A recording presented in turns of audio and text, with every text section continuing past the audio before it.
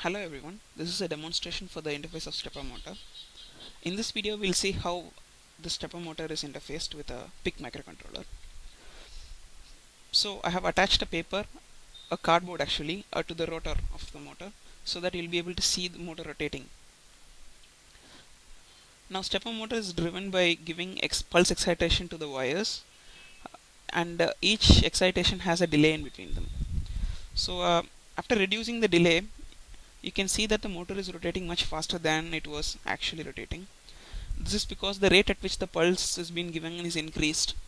So uh, the time between each step is very slow, very low. So the motor seems to be rotating at a constant speed without any steps. Now if we increase the delay between each uh, excitation, we can observe that the motor speed is reduced. Uh, it's actually rotating in steps if you observe very closely. So that gives it the name stepper motor. It can be used for accurate positioning of uh, any uh, actuators that is being connected to the rotor. For this interface, I have the stepper motor. Uh, this is a very common type of uh, stepper motor. You can find it in any hobby type electronics store or uh, you could salvage it off um, a dot matrix printer or a normal any printer will have this kind of a stepper motor.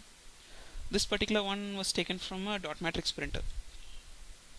Asides that I have the central microcontroller the big IC over there and uh, to the left of it is a ULN2003 it's a current driver and then there's a power circuit on top to power the entire network.